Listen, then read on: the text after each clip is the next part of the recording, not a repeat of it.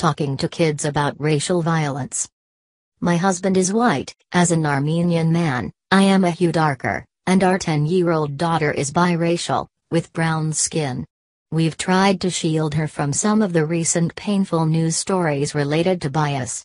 But after last week's killings of two African American men by police officers, and then the killings of five Dallas police officers, we need to be ready to talk with her about the terrors of prejudice.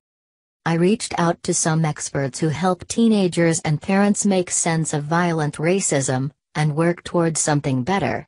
Here is some of the wisdom they offered. Don't avoid it. As moms and dads, we can be scared to talk about something so raw and ugly, said Tamara Buckley, an associate professor of counseling and psychology at Hunter College and the co author of The Color Bind Talking, and Not Talking, about race at work. But not bringing it up doesn't protect your family. It only puts the conversation in others' hands. All kids, not just minorities, need to talk. Every youth needs to be nurtured to practice empathy, not judgment, said Renee Watson, who has worked with high school students struggling to process the Black Lives Matter movement and whose work includes the young adult novel This Side of Home. It's time for us to get out of our own worlds. To be critical thinkers, young people must be exposed to news about every demographic. It's okay not to have answers.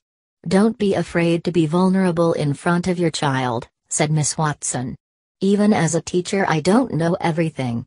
It's not about me trying to get students to think how I do, but to create room for dialogue. Ask open ended questions. Buckley suggested asking, How are you feeling about what you're seeing in the news? What are your friends saying? What bothers you the most? Notice changes in behavior. Your son might answer, It's not bothering me, Dr. Buckley said. Some young people may be in such shock they can't take in the news.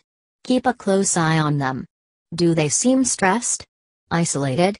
Watch for changes in demeanor, which can suggest they're upset even if they're telling you otherwise. Turn to art. If things get tense, music, painting, and dance are great ways to express yourself, said Miss Watson, who was a 2013 NAACP Image Award nominee. She said multicultural publishers like Lee and Low know we need a mix of mirror books, in which we see ourselves reflected, and window books, in which we see others.